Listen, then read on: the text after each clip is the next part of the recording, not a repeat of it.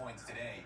Now about third quarter buzzer about to go. Kyra Cook, no choice but to pull Um, from half court. But She snares guys, it. if you That shot puts Illinois up one with sub to 10 me. Like, minutes left. I usually get State Farm like Center 2K, loves its scrappy 1K game in the because fourth. me Brian is in drives my Maryland. end. No good. It's a race scrap right to now. try to get this ball. Bostic ends up And with I it. She needed gets the it putback to to- go.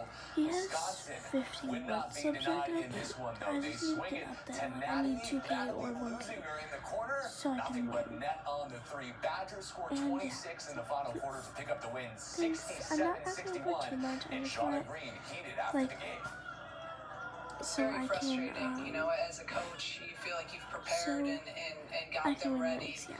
Um, My time was you know, twisted. and, and we did practices. We've had great And week. also, Um, like, and then, you know, we come out and I just thought we were flat. Like, we were flat and we're at home, so it's, it's hard for me to understand what to do, like, Like, we should have a ton of energy and we just like we let them be confident ideas. early Thank on. you.